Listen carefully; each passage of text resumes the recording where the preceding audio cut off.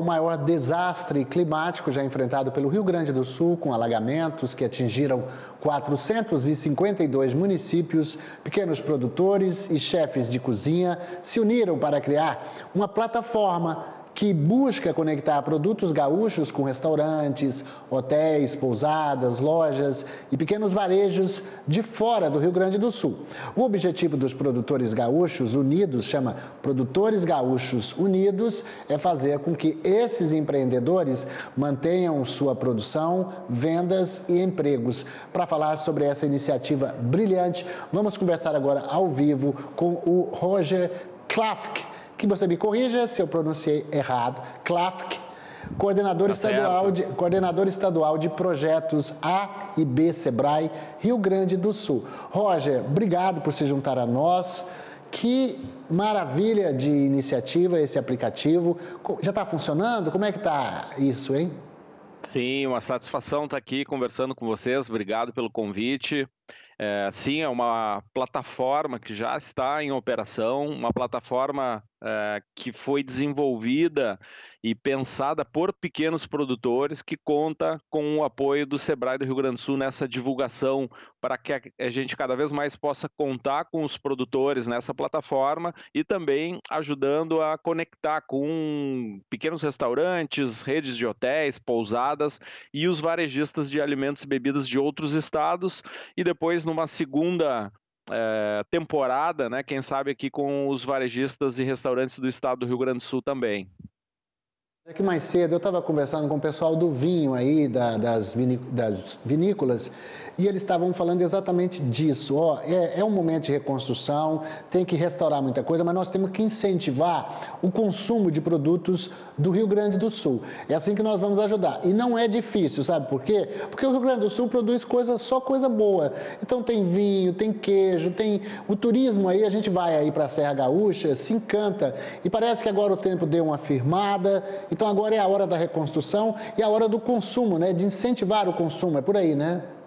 Exatamente. Né? São produtos de altíssima qualidade. Muito desses pequenos produtores fazem a, a, venda desses produtos direto aos consumidores finais, em pequenas feiras da agroindústria familiar e em eventos também é, nas regiões. Né? Então, o público é muito acostumado a acessar esses produtos é, nas regiões, valorizando esses produtos regionais e locais. E hoje, esse pequeno produtor, a pequena agroindústria, não tem como fazer essa venda direta. Né? A gente está num processo processo aí de retomada agora nessa semana, é, com o clima aí é, ajudando, né, com uma pausa nas chuvas, já ajuda nesse processo de reconstrução, mas boa parte dessas pequenas feiras onde o pequeno produtor consegue acessar o consumidor final, elas ainda estão pausadas, né, estão em processo de retomada. Então essa iniciativa vem num momento super importante, ajudando a levar esses produtos aqui do estado para outras regiões, para outros estados, muitos chefes, cozinheiros cozinheiros,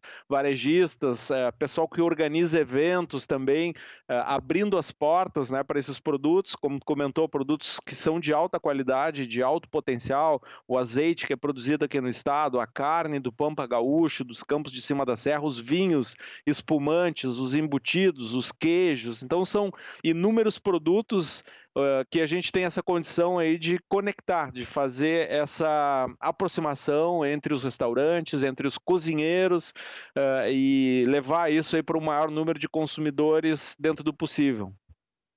Preciso, hein? O pequeno produtor, o pequeno empreendedor que quer participar dessa plataforma, o, o que, que ele deve fazer? Isso, a plataforma é super simples, é produtoresgaúchosunidos.com.br.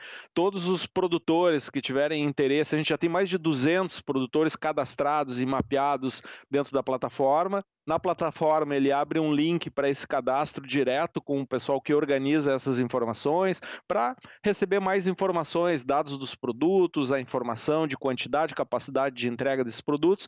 E nessa mesma plataforma também, donos de bares, restaurantes, pequenas lancherias, pousadas aí do Brasil todo que estão nos assistindo, podem também se cadastrar para ter acesso a essa lista de produtos e acessar esses produtores, fazer as compras, os pedidos, estimulando né, que esses produtos possam ser vendidos, fazendo com que a economia volte a girar aqui no estado.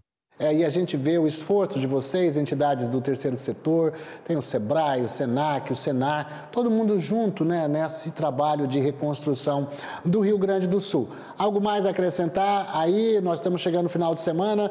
Como é que está o tempo aí? Você diz que está firme né, agora, né?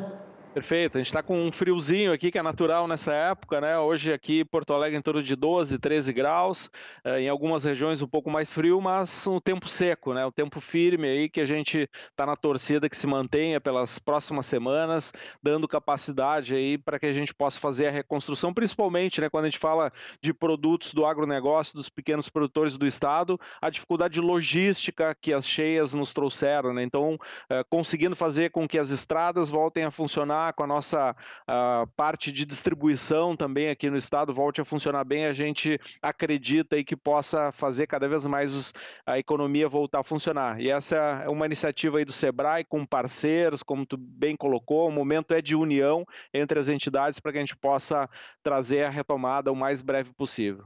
E o Guaíba já voltou aí para o leito? Ainda está é, ainda tá cheio, está acima do nível, né? Ele está descendo agora lentamente, né? Mas ainda segue muito alto, né? A gente é, foi realmente aí surpreendido, né? Esse volume ainda é alto, né? Principalmente porque recebe aí boa parte do volume de outras regiões, mas a gente está na torcida e acompanhando em tempo real aí para que essa reconstrução, essa retomada e a limpeza também das empresas, né? Que ficam próximas ao rio possam ser feitas aí o mais rápido possível possível. É, Roger, tomara que seja o mais rápido possível para a gente poder curtir essa beirada aí, né? A orla, eu tive aí, aí muitas, muitos restaurantes, bares, artesanato. É, é, triste saber que isso tudo ficou debaixo d'água, mas água baixando, vai o, projeto, o processo de limpeza e aos poucos o turista vai voltando, vocês mesmos da cidade.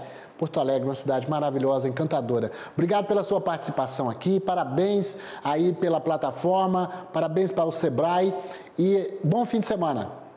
Obrigado pelo espaço para divulgar essa iniciativa, uh, que o pessoal conecte produtoresgaúchosunidos.com.br. Muito obrigado e bom final de semana para vocês também.